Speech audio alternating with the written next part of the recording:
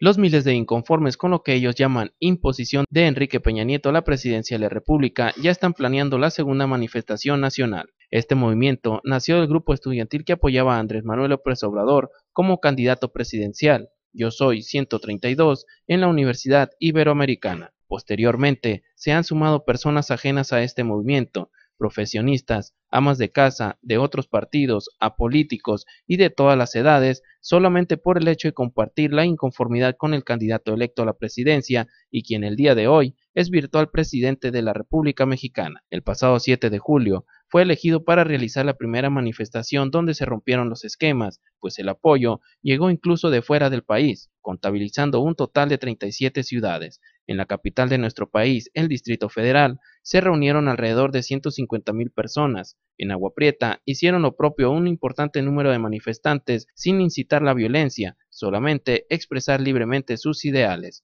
Este movimiento llamado Si hay imposición habrá revolución ya organiza su segunda manifestación nacional. Primeramente se manejaba el día sábado 14 de julio, aunque al parecer se ha prolongado hasta el día 22. En nuestra región incluso se maneja que podrían reunirse inconformes de Agua Prieta, Cananea y NAC. Con imágenes de Alejandro Figueroa, Carlos Remorales, para TV Noticias.